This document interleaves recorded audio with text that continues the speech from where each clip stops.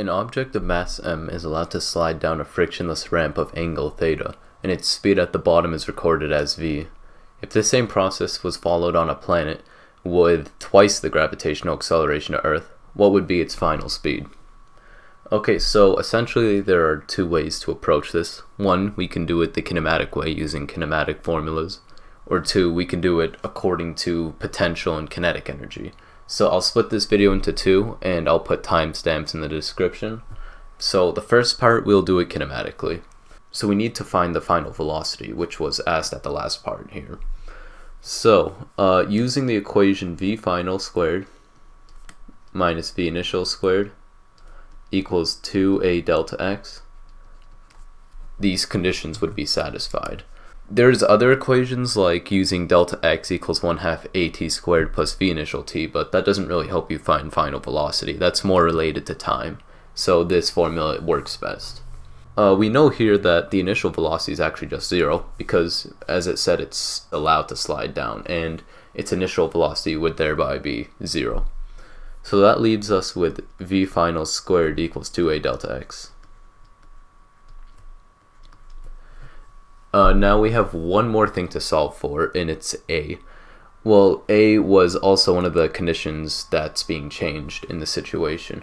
We know that typically A equals G sine theta when a box goes down a slope with no other conditions, like no friction. And here it says that the gravity's doubled, so we'll call this a sub b, for instance, that will equal 2g sine theta. So in this case, it will go faster. The final velocity will be faster because there's double gravity. So that's pretty logical thinking. So again, let's substitute that in. So v final squared equals 2 times 2g sine theta times delta x. And now all we have to do is take the square root to find v final. And that equals rad 4 because you know these 2's multiply g sine theta delta x. Now what they were asking for is relative to v, like the initial one without double gravity, what would be the final speed. So this is the modified speed. Now let's go back to treat it as if there were nothing special going on. So we would instead just use a instead of a sub b. And we would have v final squared. Instead of having it be 4 g sine theta delta x, we just have it be 2g sine theta delta x because this time we're not multiplying it by 2, we're just straight up plugging in g sine theta for a, so 2g sine theta delta x. We take the rad of that, and we get v final. I'll call this like initial, you know, for the sake of not confusing the two, equals rad 2g sine theta delta x. Now, we're going to divide the modified version by the initial version, and essentially these terms are the same. We're only looking at the rad 2 and the rad 4. And now that we have both proportions of v final and the modified v final, we can put that as a fraction. So v final over v final, uh, we can just call it initial because like without the double gravity. And this will equal, we put it over here, rad 4, over, and we put this down here, rad 2, and simply, this just equals rad 2, because rad 2 times rad 2 is rad 4. And uh, now we're trying to find the final speed, so let's cross multiply, so it would be over 1 here, and that gives us v final equals rad 2 v final initial. In, in this case, I think the answer they want you to say is just v final equals rad 2 v, and there you go. Analyzing this, we can see that v final would be rad 2 times v final initial. So we know that it will be actually faster because with more gravity, boxes can go down way quicker. Now let's do it using conservation of energy. So we know using the basic formulas, uh, kinetic energy initial plus potential energy initial equals kinetic energy final plus potential energy final. Now since they said it was frictionless, there will be no other energy or work, so this is it. So let's see if we can cancel anything here.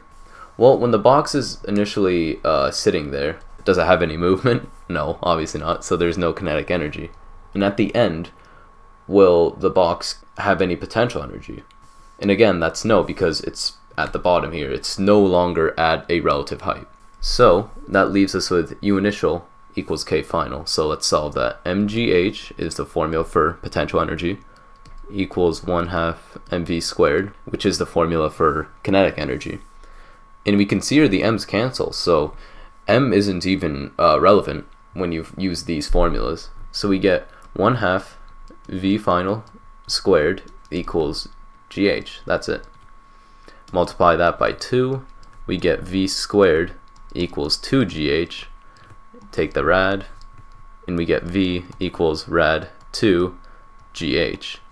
See, that's what the final velocity would be if we were in the normal conditions. And if we modify it to have twice the gravitational acceleration, it will give us a different answer. So let's put this on the side for now. So what can we change here? Well, if it's twice gravitational acceleration, all we got to do is put a 2 coefficient in front of gh. So let's modify that and say 2gh now equals 1 half v squared. Again, we'll do the same process, multiply by 2, you get v squared equals this time 4gh. Take the rad of that, and now we got v equals rad 4gh. Oh, that's a little more than rad 2gh, right? So that's good, that makes sense. And now we'll call this V final, and we'll just call this V. So uh, all now all we have to do is find V final relative to V. That's what the question's asking. See it as recorded as V. So all we got to do is make a fraction, V final over V equals rad 4gh because you know that's what this equals over rad 2gh. We can see the gh's cancel and that leaves us with rad 4 over rad 2, which is again rad 2. And now if we put that over 1 and cross multiply, we can get that v final equals again rad 2 v, which is our answer. So both ways essentially work. You can just pick which one you're more comfortable with on the exam.